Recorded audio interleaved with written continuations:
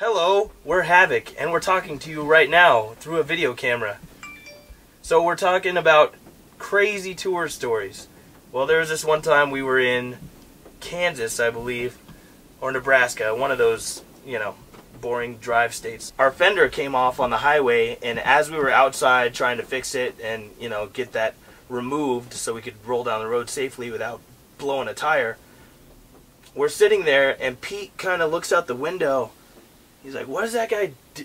There was a guy standing in a way open field in the middle of nowhere, and Pete's like, "Look at that guy! What's he doing?" He was kind of like stumbly.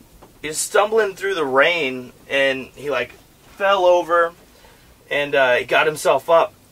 We are like, "That's weird. Why the hell is there a guy just out in the middle of a field walking around at this hour?" The sun had just come up. It was like 6:30 in the morning, and these guys are finishing up with the the fender on our trailer, and Pete's like, "Yo, did that guy just pull out a gun?"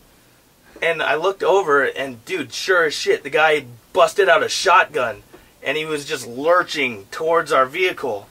And I ran outside and talked to the guys that were working on the fender. I was like, "Yo, yo, yo guys, like, get that thing packed up. We need to go like right now." They're like, "What? What's the problem?"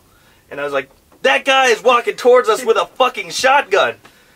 And they were, they looked over and they were like, "Oh my god!" And we like locked up our shit and see ya. I don't know why that guy was walking at us with a shotgun, but I didn't want to stick around and find out.